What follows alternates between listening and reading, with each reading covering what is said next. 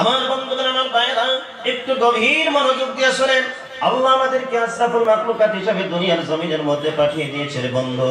আল্লাহ রাব্বুল আলামিন কোরআনুল কারীমের ভিতরে বলে, ওয়াল মুমিনুনা ওয়াল মুমিনাতু বা'দুহুম আউলিয়াউ বা'দ। আয়াতের ভিতরে আল্লাহ বলতেছেন, একজন মমিন আর একজন মমিনের জন্য হলো বন্ধু, একজন মমিনা নারী আর একজন মমিনা নারীর জন্য হলো বান্ধবী জুড়ে কন, সুবহানাল্লাহ। একজন মমিন আর একজন মমিনের জন্য হলো বন্ধু, একজন মমিনা নারী আর একজন মমিনা নারীর জন্য হলো বান্ধবী। এবার মমিনদের কাজ কি? আল্লাহ তাআলা বর্ণনা করতেছে, ইয়ামুরুনা বিল মারুফি ওয়া ইয়ানহাউনা আনিল মুনকার। মমিনদের কাজ হইল সৎ কাজের আদেশ করা আর অসৎ কাজে বাধা প্রদান করা। জোরে কইতেন না, সুবহানাল্লাহ। এখন নিজেকে নিজে কতটুকু মমিন হইতে পারছি? এই মজলিসের ভিতরে বৈশা আল্লাহ যে একটা বিবেক দিছে, একটা জ্ঞান দিছে, নিজেরে নিজে চিন্তা করুন যে আমি কতটুকু নিজেরে নিজে মমিন হয়েছি।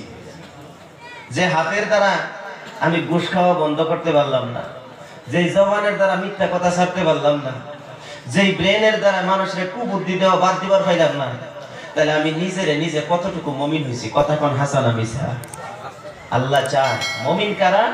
যারা আল্লাহর উপরে বিশ্বাসী। চারটা আখরের উপরে যারা বিশ্বাসী, তারাই হলো মমিন। আলিফ, দুইটা লাম আর একটা হলো হা। আল্লাহ, এই কথার উপরে যারা বিশ্বাসী, তারাই হলো মমিন। আর মমিনদের জন্য আল্লাহ বিশাল বড় জান্নাত রাখছে। জোরে কইল সুবহানাল্লাহ। আমার বন্ধুগণ, আল্লাহ রাব্বুল আলামিন বলেন, একজন মমিন আর একজন মমিনের জন্য হলো বন্ধু। মমিন হিসাবে আমাদের করণীয় হলো, কেউ যদি খারাপ কাজ করতেছে, তাকে বাধা প্রদান করতে হবে কীভাবে? আল্লাহ রসুলের জামানায় একজন কি করতো বন্ধু? একজন কাফের আসিয়া নবীজি সাল্লাল্লাহু আলাইহি সাল্লাম যে জায়গার মধ্যে নামাজ পড়তো, নবীজি সাল্লাল্লাহু আলাইহি ওয়াসাল্লাম যে জায়গার মধ্যে সিজদা করত, ওই জায়গাটার মধ্যে পেশাব করা আরম্ভ করে দিয়েছিলেন। আল্লাহ রসুল সাল্লাল্লাহু আলাইহি সাল্লামের কীরকম চরিত্র ছিল? বন্ধুগণ আমার ভাইরা সাহাবারা বললেন, রসুল সাল্লাল্লাহু আলাইহি ওয়াসাল্লাম আমাদেরকে কেন পারমিশন দেয় না? এই কাফের বেঈমানকে দুনিয়ার জমিন থেকে আমরা বিদায় করে দিব। আল্লাহর নবী বললেন, আলী রে, রাগ করো না, উসমান তুমি রাগ করো না কারণ এর পেশাবটা ক্লিয়ার হতে দাও। বন্ধুগণ, আমার বাইরা যখন পেশাব ক্লিয়ার হয়ে গেল আল্লাহ রসুল সাল্লাহ সাল্লাম ওই কাফেরটাকে নিকটে ডাক দিয়ে নিয়ে বললেন, বাবারে, তোমাদের মন্দিরের মধ্যে তোমরা যেখানে আল্লাহকে ডাকো, সেই জায়গার মধ্যে যায় যদি আমরা এরকম করে পেশাব করতাম, তুমি কি বলতা? তখন বলে, হুজুর, আমরা তাকে মারপিট করতাম। আল্লাহর রসুল বলে, এই জায়গার মধ্যে আমার রবকে আমি ডাকি, আমার আল্লাহকে আমি ডাকি। এই জায়গার মধ্যে যে পেশাব করো, এই কাজটা কি অন্যায় হয়েছে না ভালো হয়েছে? তখন সঙ্গে সঙ্গে বলেন, হুজুর, এই কাজটা আমি অন্যায় করেছি। হুজুর, আপনার এত সুন্দর ইনসাফ, এত সুন্দর বিচার গো, হুজুর। আমি কিচ্ছু বলব না। আপনি আমাকে কলিমা পরে মুসলমান বানিয়ে দেন, একটু জোরে বলেন না, সুবহানাল্লাহ। আর আমাদের চরিত্র, কেউ যদি আমাকে মসজিদে যায়, যদি এরকম করে, তারা লগে লগে কি করুম? একবার টুকরা টুকরা করে ফেলাম। আর জায়গা না, শয়তান জানি কোদার কারি নে নে তুই কুকাম করছ তুই হ্যাঁ? আমাকে ধৈর্য নাই, সহ্য নাই। ধৈর্য ধরতে হবে, সহ্য করতে হবে। আল্লাহর নবী ধৈর্য আছিল, সহ্য আছিল, সবকিছু আছিল। জোরে জোরে করেন সুবহানাল্লাহ।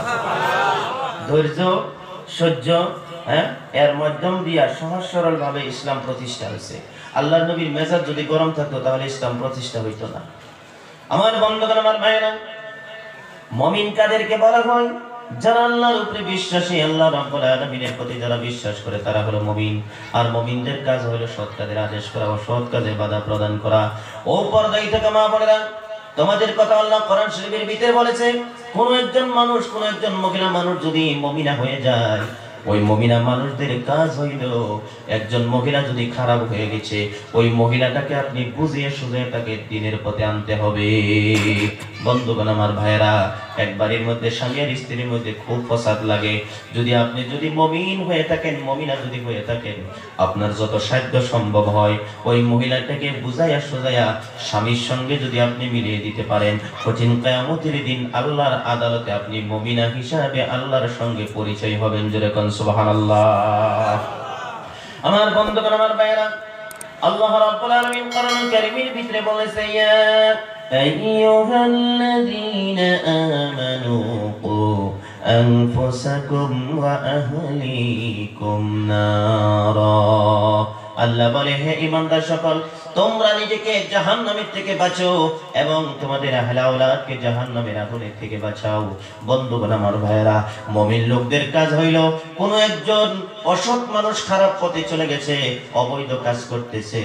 বন্ধুগণ আমার ভাইয়েরা, আমরা তাকে দাওয়াত দিতে হবে তবলিকের লাইনে দাওয়াত দিতে হবে, তাকে খানকার লাইনে দাওয়াত দিতে হবে, কারণ ইসলাম তাকে সুন্দর করে বুঝাইয়া আমাদের গণ্ডির ভিতরে নিয়ে আসতে হবে।